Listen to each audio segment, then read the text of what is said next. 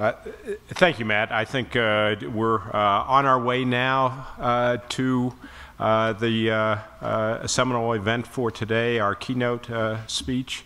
we will hear from John Jarvis, who is the 18th director of the National Park Service. I've had the pleasure of uh, knowing uh, John for probably a couple decades, uh, if not uh, even perhaps a little bit longer, speaking perhaps uh, to uh, the grayness in both of our hairs or mustaches, uh, although I'm not sure that his isn't uh, more rapidly getting gray these days back in D.C. I've uh, observed uh, his uh, career trajectory. He's made uh, some tough decisions along the way with an eye toward ensuring that our national parks are protected. He's delivered unhappy information to some Congress people uh, along the way, uh, and he's still here uh, standing and looking forward to leading uh, the National Park Service uh, into uh, its centennial in 2016. And I should say that he's certainly the appropriate person, I think, to do that. he began his 37 year career with the National Park Service in 1976 as a seasonal interpreter in Washington, D.C. Uh, he's held a number of different uh, positions since then, uh, which gives him, uh, I think, pretty extraordinary knowledge about uh, both the system and the agency that he oversees. He's been a ranger. He's been a resource management specialist. He's served as superintendent of Craters of the Moon, North Cascades, Wrangell St. Elias, and Mount Rainier. Uh, and prior to succeeding to the uh, directorship. Uh, he was the regional director of the Pacific West region for the National Park Service. I think, uh, given the title of his talk, we'll hear more about uh, his plans uh, for the National Park Service in the next century. He's already issued a second century call to action uh, and I trust that he will be telling us uh, more about that, and I hope uh, some of his thoughts and plans uh, for the centennial and beyond. Uh, please join me in welcoming uh, Director John Jarvis.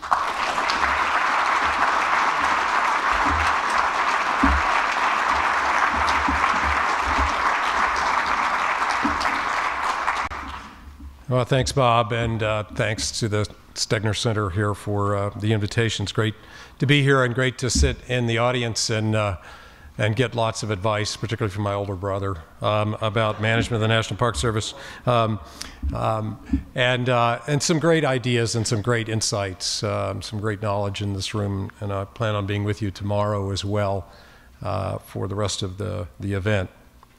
You know, Wallace Stegner was a was a great friend of the national parks. Uh, he used his eloquence as a novelist to to promote stewardship ethic that really began with John Wesley Powell and John Muir and Henry David Thoreau. And, and I, I believe the Park Service was, you know, incredibly privileged to be associated with him.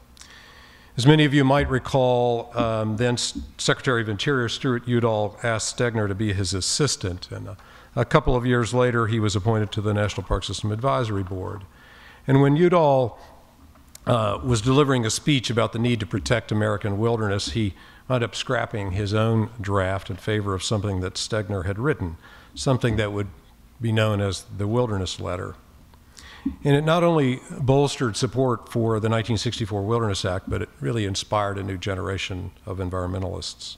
Stegner once said that ever since he was old enough to be cynical, he'd been visiting national parks. And interesting enough, uh, for all their other good qualities, he found that the parks to be a cure for cynicism. We simply need that wild country available to us, he wrote, even if we never do more than drive to the edge and, and look in, for it can be a part of the geography of hope. Of course, he left us with that famous line about the national parks being America's best idea. It's a line that gets quoted a lot, uh, really because Stegner was right. It is America's best idea.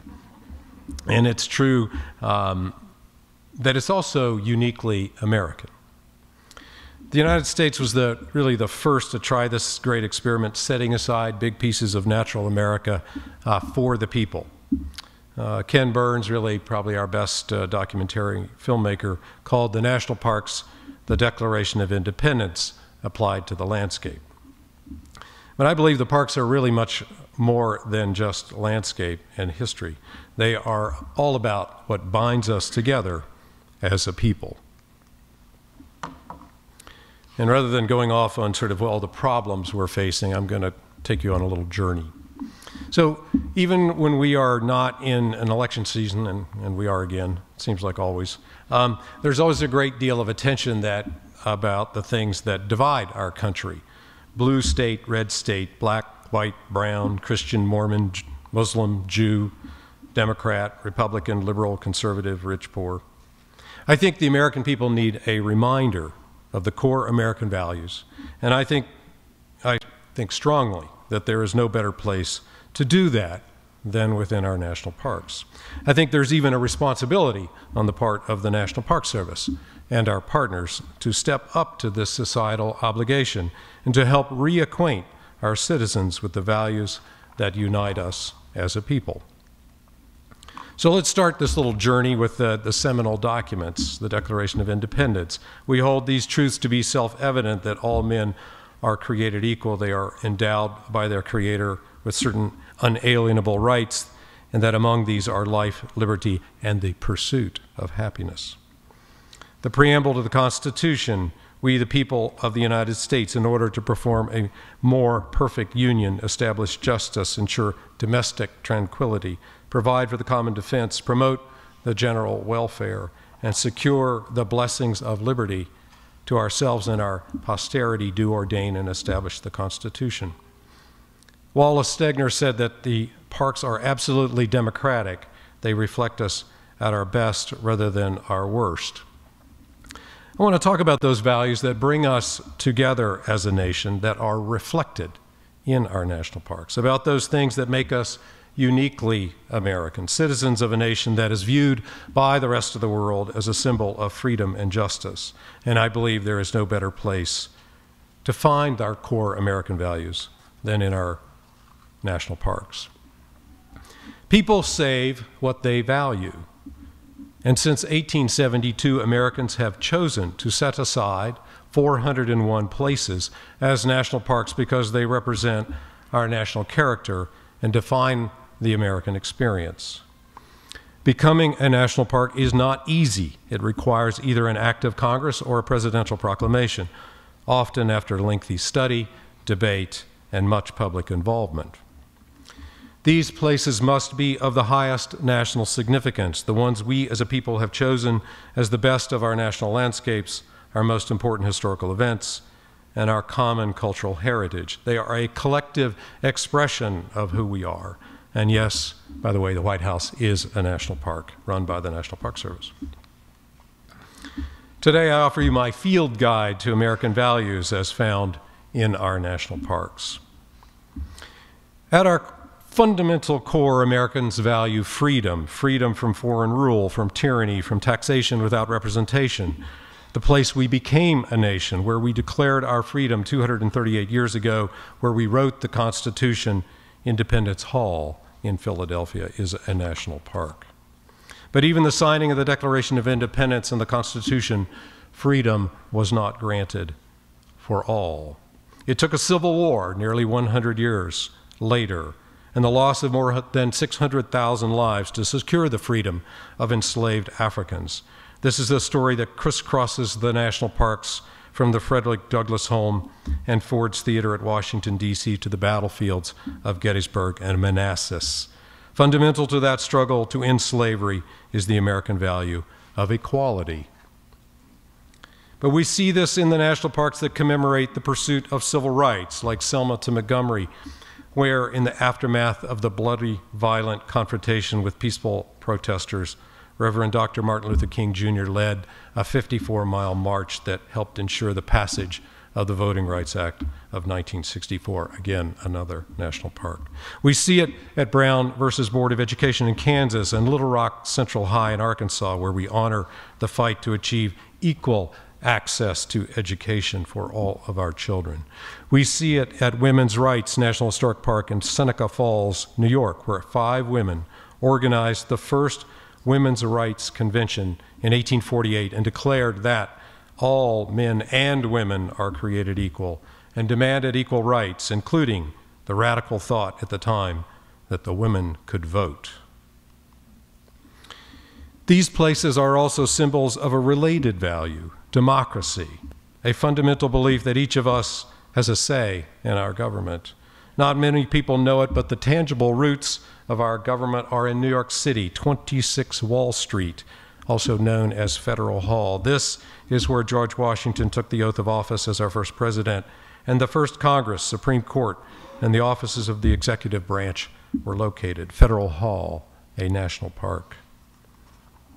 And across New York Harbor from Federal Hall is the most powerful and recognizable symbol of democracy and freedom in the world, the Statue of Liberty, and by her side, Ellis Island, both national parks. To live in a free democracy is a universal human desire. More than 12 million people from around the world, drawn here by the promise of a better life, passed through America's Golden Door from 1892 to 1954. Whether we agree about the laws or policies of current times, we are a nation of immigrants, and that has been one of our country's strengths. Over the past few years, in partnership with the U.S. Citizenship and Immigration Services, the National Park Service has invited new citizens to take their oath of citizenship in national parks. From the deck of the USS Constitution to the steps of the Lincoln Memorial to the desert of Death Valley National Park. Where better than a national park to imbue new citizens with a sense of patriotism? Wallace Stegner wrote that one of the reasons we should preserve this country's wild places is because wilderness was the challenge against which our character as a people was formed. And there is perhaps no more classic American value than our pioneering spirit, the readiness to take on the unknown. That spirit is alive at Homestead National Historic Park in Beatrice, Nebraska, where we tell the story of how more than 1.6 million people were given the opportunity to claim millions of acres of land and live the American dream. It is also alive and well along the Lewis and Clark Trail at Fort Clatsop, the lonely Oregon outpost established by the explorers at the end of a 4,000 mile long journey to discover a water route to the Pacific. Ingenuity is so much of our part of our value that often the word American goes before it. It is the hallmark of the American tradition, and we need to look no further than Edison National Historic Site in West Orange, New Jersey, where Thomas Alva Edison established his idea factory that generated 1,093 patents from the phonograph to the battery.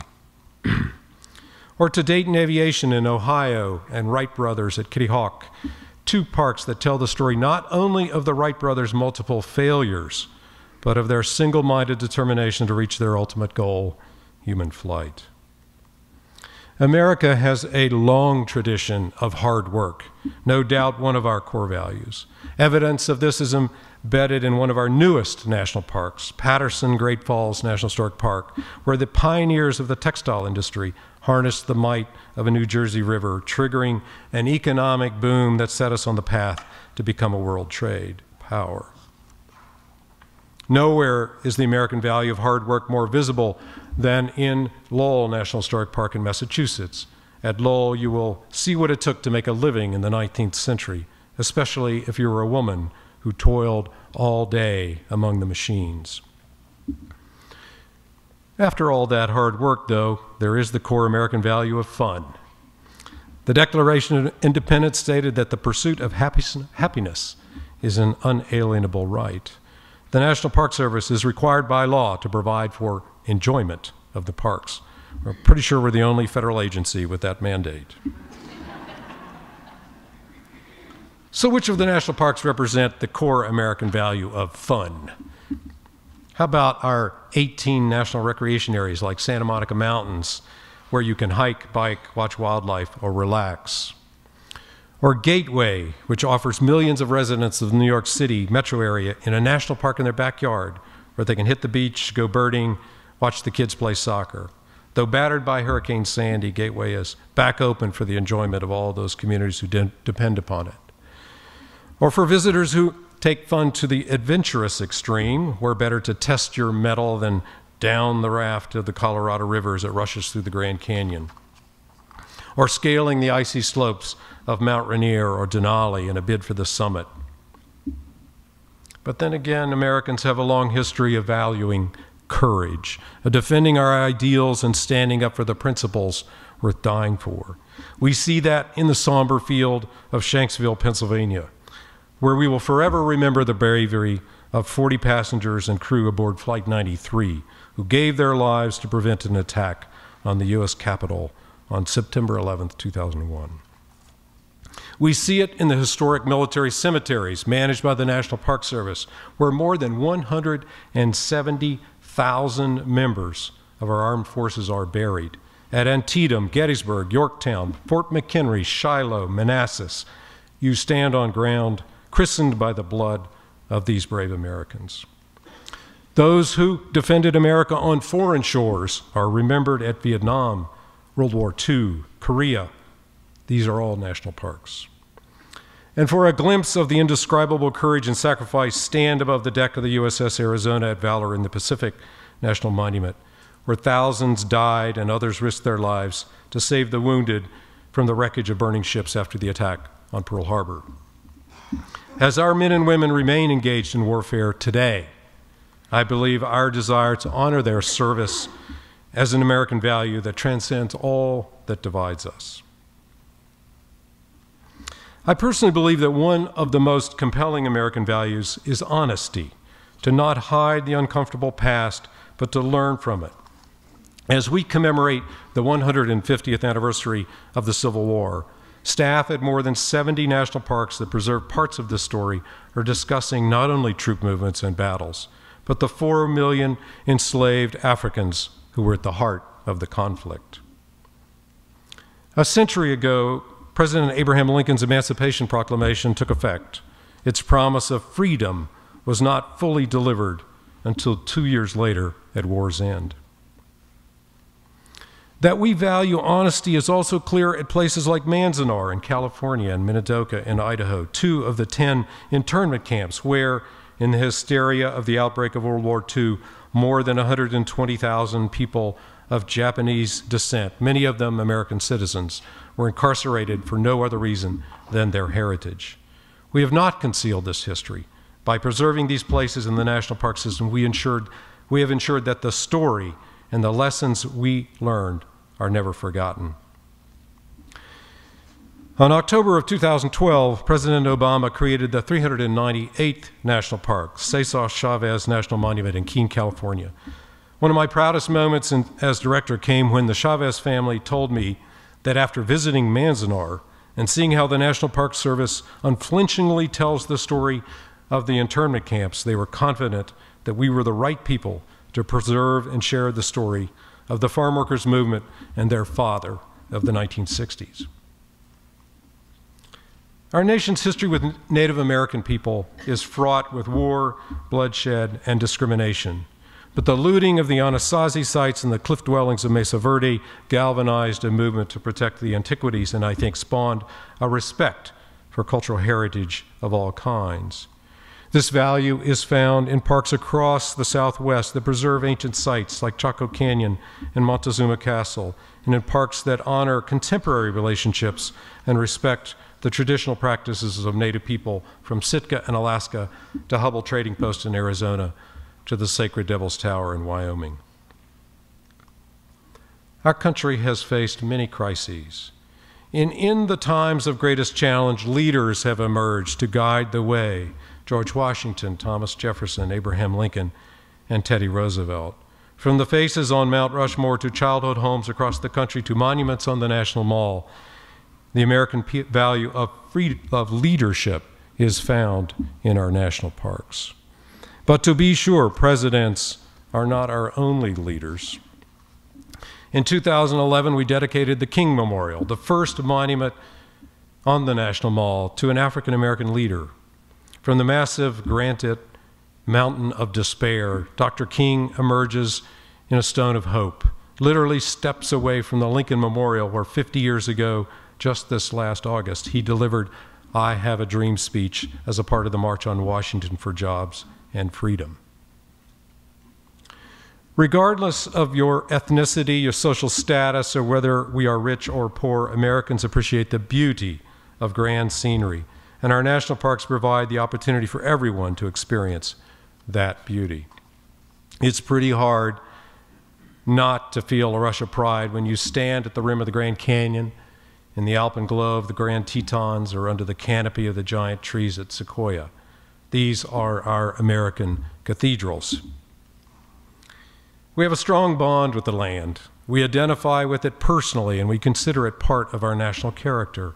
Americans understood early on what a gift nature is and took measures to safeguard it with a conservation movement unlike anything else in the world, creating what Stegner called our best idea, the national parks.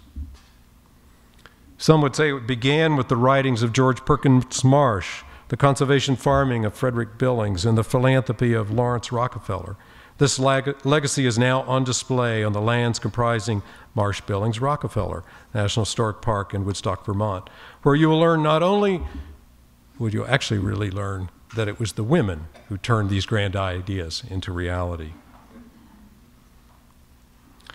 One of the really unique things about American value of conservation is that it has also been a philanthropic enterprise. Those who had achieved the American dream wanted to give back to the people and preserve special places. And so was the born the idea of conservation philanthropy, which started with families like the Rockefellers giving the American giving America the gift of Acadia and the lands that comprise Virgin Islands National Park.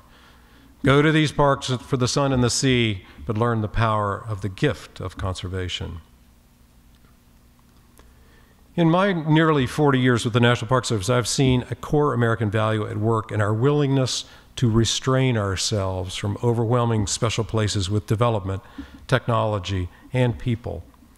The manifestation of this value, the conservation ethic that Wallace Stegner so passionately advocated, can be seen in the establishment of landscape scale national parks like Yellowstone, the Everglades, Badlands, Wrangell St. Elias, and Death Valley.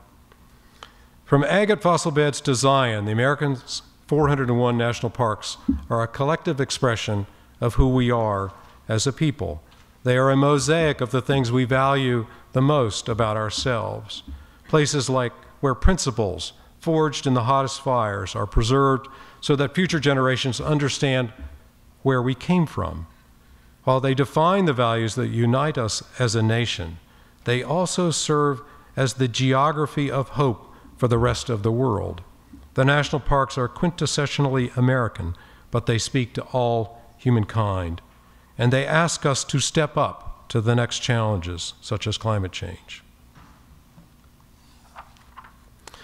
I'm very proud that the National Park Service has been entrusted with this, with this care, not only for the care of these places, but the responsibility of reminding Americans of the values that unite us as a nation.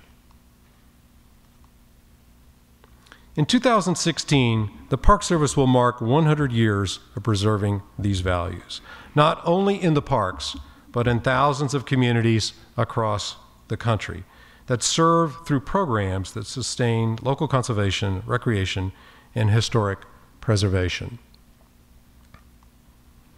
But 2016 is much more than a milestone birthday. It is the start of a second century of this inherently American conservation and preservation movement. As Bob mentioned, in 2011, we launched a call to action, our blueprint for the future. In it, we set nearly 40 strategic, tangible goals to meet the challenges of the coming century. One of those was to revisit Leopold. With the help of our dedicated partners, we've already got hundreds of success stories across the National Park Service and in more in many of our more than 400 parks. If you want to see that, go to nps.gov slash call to action, and you can see hundreds and hundreds of these things that are underway.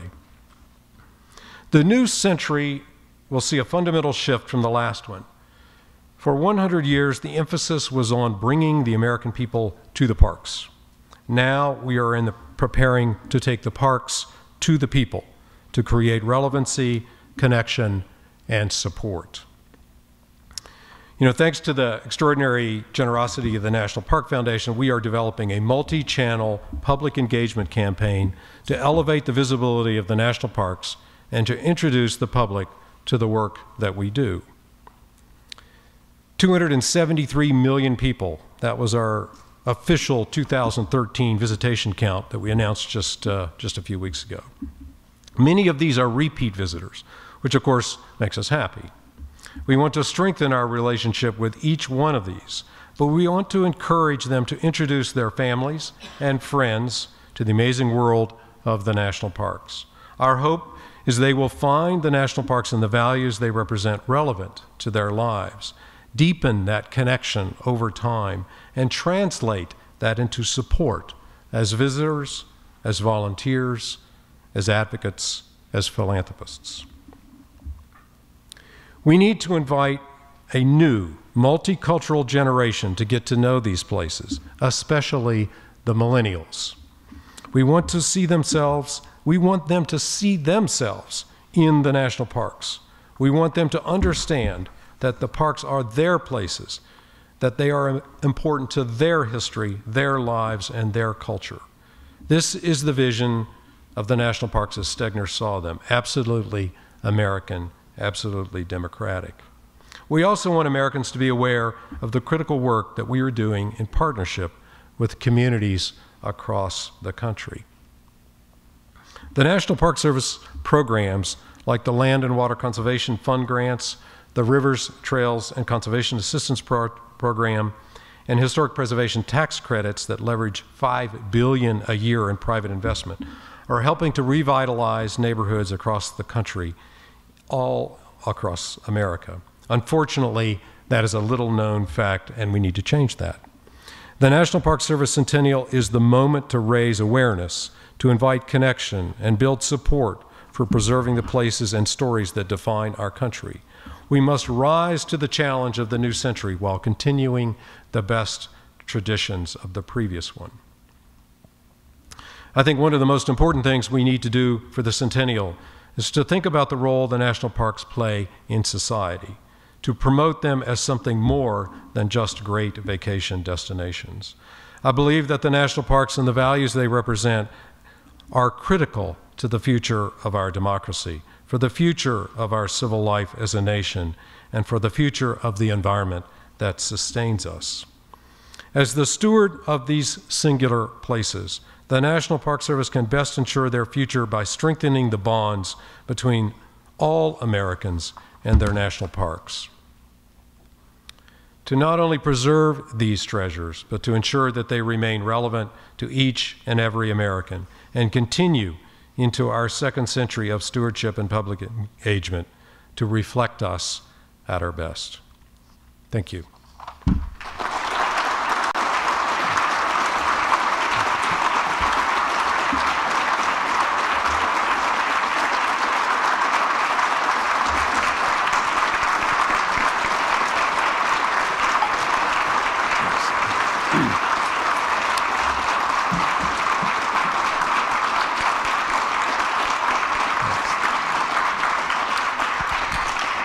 And I'd be glad to take questions. I think we've got plenty of time, so um, at least a good 15 minutes or so. So, uh, and you can go off topic. Oh, come on. Either exhausted the subject or the audience or both. Oh. Take, don't, don't bring that down here. Bring that up. I'm concerned about uh, the Parks Service's relationship with Congress, or relation to Congress, and I'd like to hear a little assessment of, of that relationship as far as you're concerned at this time. Great question. You know, uh, historically, I think the National Park Service has enjoyed a, a great relationship with Congress on both sides of the aisle. Uh, we're in a sort of an odd period uh, now, and Destry talked about it a little bit, um, where um, the the supporters that we would traditionally have, particularly on the Republican side and particularly in the House, have kind of gone underground. And I, I tell this story over and over again, and uh, where you know if I go up to the Hill and I go meet a maybe a freshman uh, member of Congress uh, that is a self-identified uh, conservative or Tea Party, and uh, you know I go in to meet them just as a meet and greet I haven't been sort of summoned or subpoenaed or anything uh, to go see them um, uh, yet. Um, and uh, you know, I go in, and he goes, you know, or he, he or she, oh, director of the National Park Service, and they they look around, they pull down the shades, and then they get out their park pass, and they showed me, you know, that they are actually a strong Park Service supporter, but they've been unwilling to be vocal about that. And I think this is one of our opportunities to bring them out again that it's okay, that it's, it's patriotic, uh, it's core American for you to, to be vocal about the national parks. Um, I also think, though, that many of the challenges that we are seeing uh, across the board in terms of, of our connection to the American people and to some uh, elected representatives is this waning of relevance uh, that we are seeing. I mean, um, you know, this, unfortunately, audience reflects pretty typical of what we see uh, then when we gather a group of people together to talk about national parks. We talk to each other. Uh, and, you know, great studies on the visitor. I want to know about the one that's not coming. That's who we need to study. And that's what we've been doing for the last year. We've actually invested about a million dollars in research in the millennials that are not coming to national parks. If we build relevance with that new cohort of society, deepen that connection on all the things that we do for them in their communities, in our national parks, for the environment, for historic preservation, then I think the pendulum will swing back within the political leadership of the country. And I, so I think that the investment that we will make in building that relevancy is key to success in taking on all the challenges uh, that we will have of the National Park Service, whether it's budget, our political position, our ability to lead a nationwide conservation effort, all of those things, if we make this investment and connect to the next generation. Right here.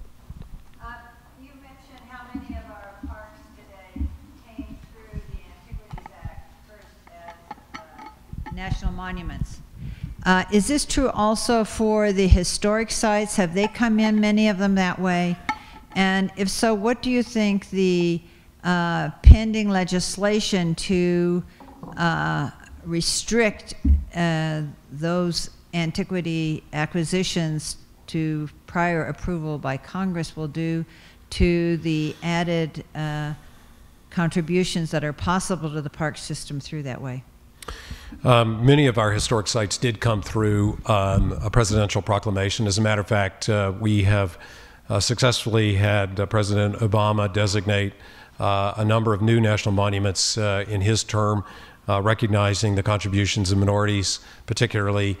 so we did Harriet Tubman, we did Charles Young Buffalo Soldiers, we did Cesar Chavez, we did Fort Monroe, First State, um, and um, I, I, think that the the tool, the power of the Antiquities Act is a very, very important uh, conservation and historic preservation tool, and I think that would be foolish to ever lose that power of the president. Right here.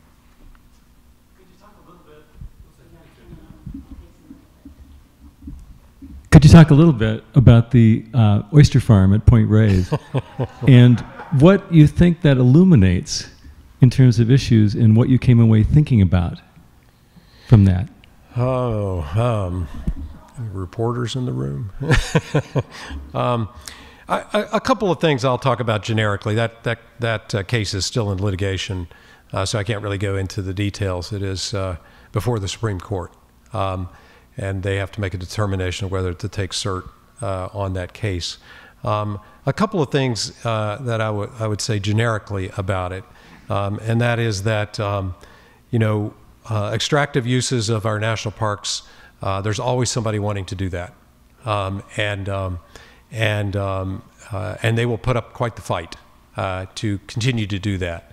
Uh, if you, uh, I tell this to my my superintendents that um, you know whenever you decide to stop an activity, that's the starting point, and if you allow it to begin, then it, they're very difficult to ever end.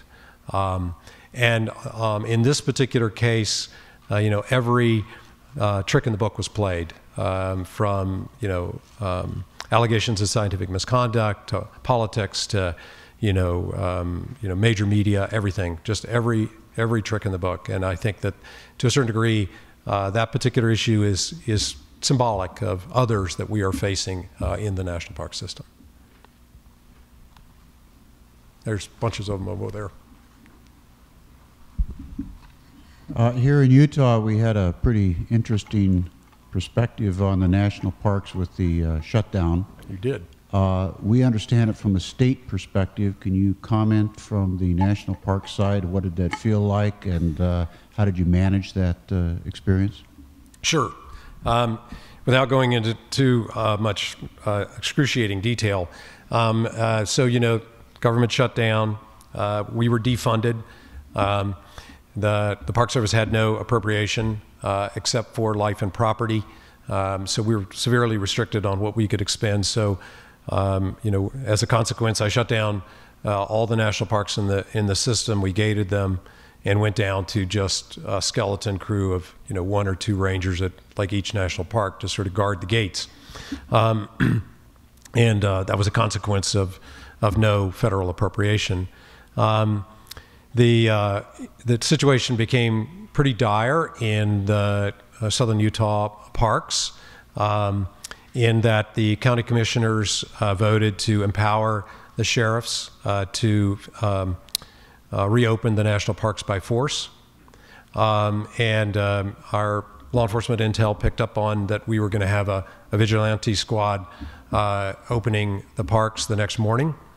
Um, and what we would either result in, um, we knew would either what we would call a blue on blue, uh, which is law enforcement fighting law enforcement, or if we were to step back and allow uh, the parks to be reopened, um, you know, no telling what would happen. You know, look at Goblin Valley as an example of what can happen when there uh, when there's a lack of, of resources on the ground.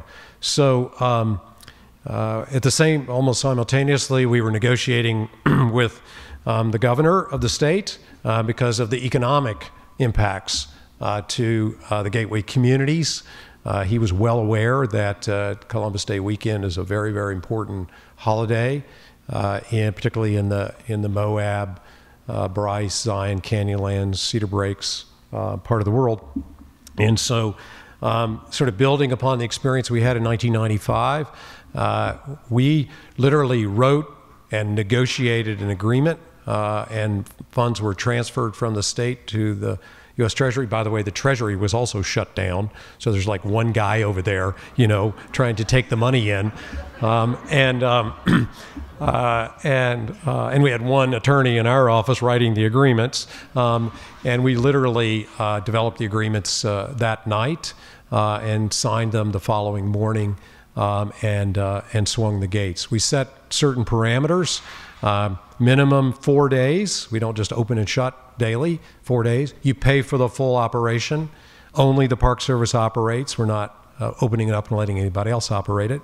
Um, we actually were able to calculate the daily rate, you know, of Zion and and uh, Bryce and the, the Grand Canyon. By the end of the week, we had signed agreements with South Dakota, uh, Arizona. Um, uh, we were negotiating with Tennessee, Virginia. We opened the Statue of Liberty with funds from New York uh, and the like. So, uh, and then the shutdown ended. Um, we told them from the get-go uh, that you don't get your money back uh, unless Congress passes legislation that grants us that authority, because that money was spent. That paid the salaries of those employees, paid the utilities, uh, bought their gas uh, when we reopened uh, the parks uh, during the shutdown.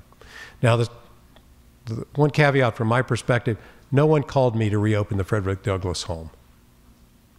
Okay, so we should not let the economics drive the priorities of the national park system. They're important, uh, but I think there's deeper meaning uh, than just the parks that provide economic value to their gateway communities. Very important thing that we do, but it should not be the only thing.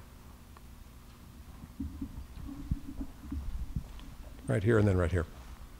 Right here. I'm interested in what um, the situation is with vandalism and law enforcement as opposed to education in the national parks in recent years. uh, growing mar- marijuana in Yosemite in the wilderness areas, for instance, or or people carrying guns um, and that sort of thing. Has that been a significant problem? Um, the question was about vandalism and law enforcement in the national parks. Um, uh, it is an increasing problem. Uh, the growing of, uh, of marijuana in uh, the Sierra parks, so sort of the Sierra Front Range, Sequoia Kings Canyon. It's a much, much bigger problem on the Forest Service lands than it is in the national parks uh, because we tend to have one entrance point and that's really how they get in. Whereas if you're in a roaded public land area like Forest Service or BLM, uh, it's much easier. These, uh, um, you know, whatever your attitudes are about marijuana uh, are sort of irrelevant to us. It's the destruction of the environment. They're using, they're bringing in DDT uh, from uh, from Mexico. They're diverting streams, dumping uh, pesticides and fertilizers into the water uh, courses, killing wildlife for food, uh, and doing pretty significant damage. Uh, it, it's it's almost uh, out of control in uh, in California. Um, and then there has been some increases in other types of vandalism, um, you know, tagging of saguaro cactuses, gang graffiti and Joshua tree on some of the, the rock formations. Um, a lot more impact on BLM lands than on park lands, again, because we have a higher number of law enforcement. Uh, you know, we're a little more uh, uh, on the ground than they are, but there's an increasing number of this this kind of activity. Right, right here. Um, your talk was beautiful in its invocation of all the symbols that stir us to support the Park Service um, and it worries me quite a lot uh, as you also talk about the difficulty in bringing millennials into the fold, so to speak. And I'm uh, focusing particularly on the question of does the Park Service have a way of symbolizing itself that reaches beyond the symbols that automatically trig- trigger this group, but may not so effectively be reaching? Great the, question. Great question. Uh, just this Monday uh, in Adweek, we launched our new cousin to the Arrowhead. Um, interestingly, the um, uh, we hired um, Grey Advertising, um, which is a Madison Avenue marketing firm, through our foundation. No, no appropriated dollars spent, by the way, um, all philanthropic. And they took a look at this uh, Arrowhead. We love the Arrowhead, and the Arrowhead's not going away. It will always be a part of the Park Service. It'll always be on our uniform. But in a way, it doesn't really represent sort of the the broad responsibilities of the National Park Service. Um, and we needed, if you think about any major brand, they actually have multiple sort of marks. And so we've added a new mark uh, to um, that we think can be utilized in more of our urban programmatic sides of. We do a lot of things. Grey told us, he said, you have an extraordinary brand. Your brand is world renowned, high profile, very positive. No one knows about it. They, they know when they look at that, they think Yellowstone, Yosemite. They don't think Gateway. They don't think Santa Monica. They don't think the National Register program. And so we need to manage our brand much better in order to connect uh, to the millennials. Millennials are very brand aware. Um, and, um, and, you know, you look at Apple and Google and Facebook and others, they're very brand savvy. Park Service is not very brand savvy. We don't we don't know how to manage our brand, and this is one of the things we are trying to do for the for the centennial is not sell ourselves. We're not doing that, but we're trying to show the American people all the things, and sort of I gave you in a short uh, presentation, the things that we do that most people have no idea that the Park Service actually does, and we needed an additive to the arrowhead in order to do that.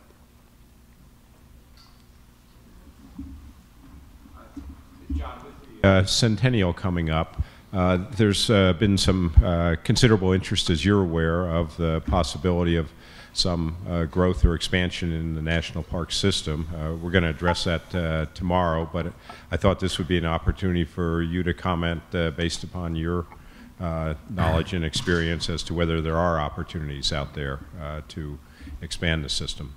Um, I believe there are, and you know, a couple things. Uh, shout out to Gretchen Long here uh, from our National Park System Advisory Board, who led uh, the team on, and Jody was on this team as well about the National Park System Plan, um, which is a framework uh, for at least for us about growth of the system.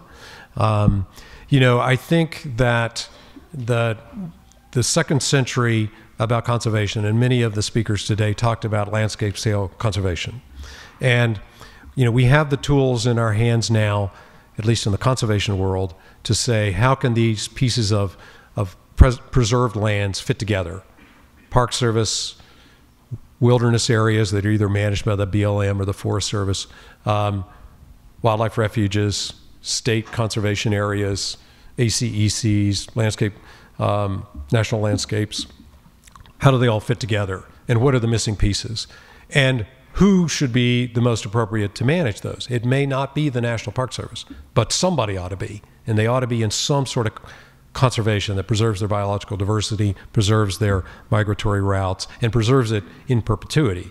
So that's part of the way we are looking at this um, we're also looking at you know what what are sort of the missing what are the gaps in the system uh, that are missing, and there are we have a long list of potentials that we're looking at, and also what are the gaps in the uh, preservation side of the house. Um, you know, when you look at the the inventory of National Register of Historic Places, less than 10% represent the contributions of minorities and women.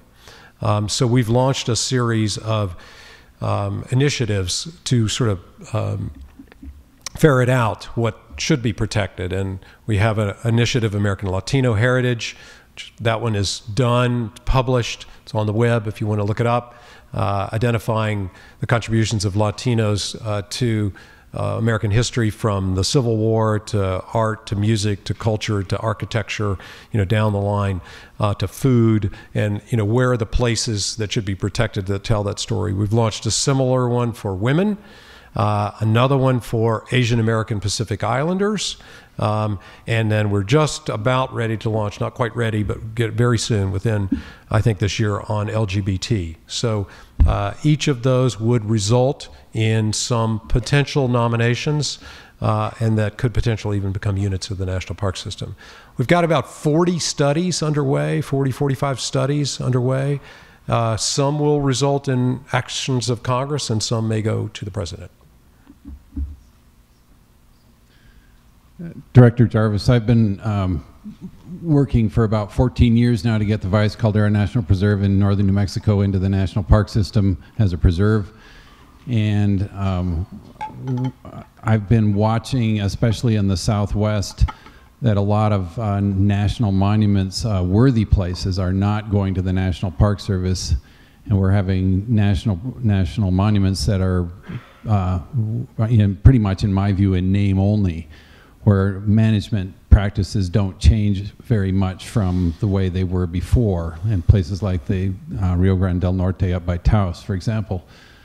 I'm, I'm interested in your views on how we can uh, make worthy places go to the National Park Service more in the future. I'm worried that there's a trend in Washington where there's an unwillingness to wrest land away from either the Forest Service or BLM and give it to the Park Service at, in places where it, that should happen. And um, I just am I'm interested in your views on that. Well, I, I think your um, your perception is accurate. Uh, there is a there is somewhat of a, a political resistance to uh, to move lands between the agencies. I would say though that getting um, areas with with um, designations that require them to be managed for for conservation over the long term within the other land management agencies is a good thing. Um, that uh, you know, the Bureau of Land Management, our sister agency in in Interior, um, needs to have more mission than just extraction. Uh, and there are many great people in the BLM uh, that believe deeply in conservation and um, and it's great to give them uh, a body of land to protect. Now they're way behind us in sort of building the experience and the policies and and procedures for managing these these areas, but we're there to that we're there to help. Um, and so, uh, but I don't think that you know uh, that eliminates us from from bringing in new units to the national park system as well. So, um, I I do think that the Park Service will never have all the financial assets to manage everything that we you know the American people would like to give us. Um, so it really does have to be a landscape scale thing. And you know, we have to begin to start thinking about, you know, if we're going to establish a new conservation unit of some sort, how does it fit into a broader landscape? How does it really mesh? Uh, you know, we used to draw our boundaries with a, you know, a, a, lumber crayon and just say that's it. You know, you look at Mount Rainier; it's a great big rectangle. Um, and uh, and you know the Forest Service is right up to the boundary, and we used to debate whether or not the center of the tree was on our side or their side, so they could cut it. Um, and I think uh, more and more so on the ground, we're beginning to look at this at a landscape ecological diversity. You know, what are the what are the things that we're managing for, and um, and over time, uh, these uh, it, it's beginning to work. I wouldn't say it's there yet. For the very first time in my career, the four land management agencies get together on a regular basis and coordinate our land water conservation fund acquisitions in into these LCCs, into these landscapes, uh, and uh, and there are there are models that are that are uh, that are really uh, working um, where we combine our assets and say that piece of property needs to be protected. Who can who has the most authority to buy it, and who will take care of it? And uh, I think we're doing that now. So. microphone for somebody. What happened to our mics? Oh, you mean to wrap it up? Yeah. Oh, yeah, we're. Caroline, you have the last.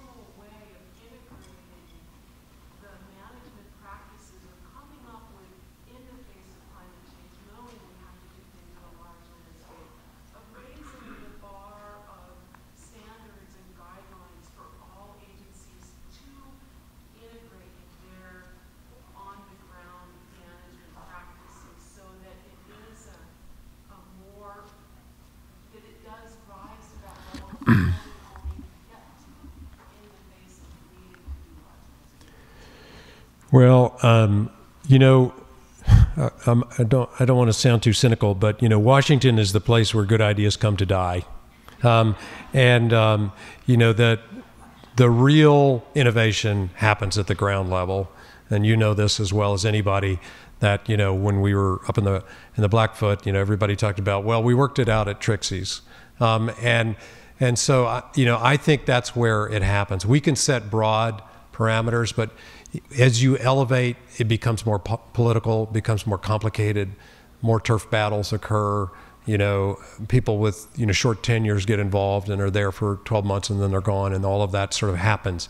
Where you really, I think, the innovation uh, occurs at the local level, and what you need is somebody to convene, and I think it becomes one of our roles uh, in the National Park Service, but not us alone, as a convener uh, of those parties, the community, the people that have stake uh, stakeholder, uh, the other agencies, state and federal, everybody in the room, and set a vision and set something concrete on the ground that you do that you get you really accomplish. Um, thank you all. I'll be around uh, uh, tomorrow as well, so you can grab me if you got another question. Thank you very much.